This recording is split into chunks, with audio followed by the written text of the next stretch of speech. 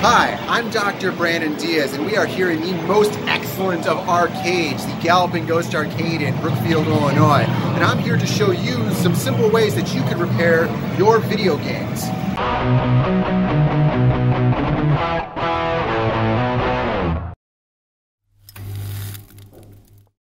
If you have a game that has graphical issues or audio issues, a simple chip reseat might solve the problem. Reseating the chip is very easy and it's something that you can do yourself. Uh, Kick here has a graphical issue where the balloons don't display right during gameplay and the title screen has some glitches on it. So I'm going to show you an easy way and the right tools that you'll need to do a proper chip reseat yourself. So here we are in the office and we're going to start by reseating some chips on this board. Uh, what we suggest using is a Model G2 staple remover. As you can see here, uh, I'll put a link down in the description of the video to this uh, particular staple remover. It works very well because the width of the tip is pretty much the exact width of the bottom of the chip that we are dealing with. Uh, you could also use a flat-headed screwdriver, but you have to be careful that you don't scratch the board. Uh, it's not as safe as something like this. This is really light and the perfect thing to use. So the first thing that we'll do is we'll take our staple remover or screwdriver and figure out which one of these chips that we need to reseat. Uh, you can reseat all of them. It's fairly easy to do, so if you're in there, you might as well reseat all of them anyway.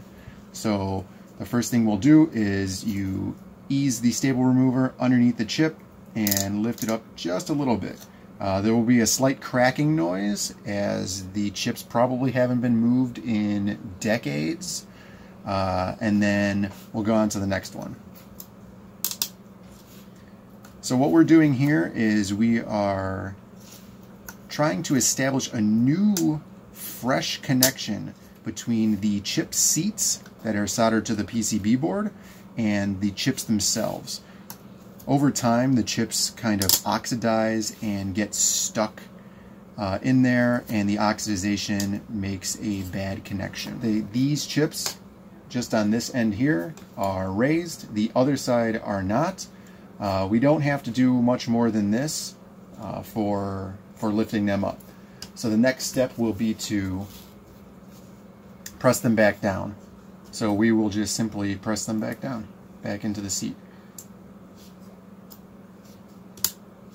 What you can do is press down the second side as well. Uh, that way you will ensure that there is a solid connection. There's another set of chips on this board, uh, smaller chips on this side. You could actually see it in the video pretty well, that uh, how shiny these are. And this chip here is pretty, pretty dirty. So what we're going to do is uh, we're going to reseat this one also. In the cases where the chips are very dirty, you can actually remove them completely to clean them better. We're going to take this chip out completely and you will see how thin these legs are. They are very easy to break. Fortunately, the bottom of these legs are not very oxidized, so that's not too bad.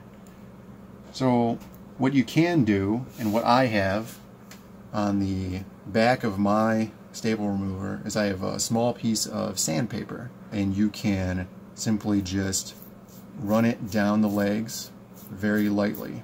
You don't want to do too much because you don't want to risk the legs bending. So this chip has to go back in now. And what is very important is that it goes back in the same way that we took it out. Fortunately, this chip has both sets of tricks to remind you which way you took this chip out. Towards my fingers, there's a little notch and a little dot. Some chips just have the notch, some chips have the dot. They're only on the one side, not on this side. You can check out the rest of the chips on this board. They're all facing the same direction. All the notches are to my left. So that's how I'm going to put this back in and slowly ease it in to make sure that all of the legs are going where they need to go because they're very, very fragile.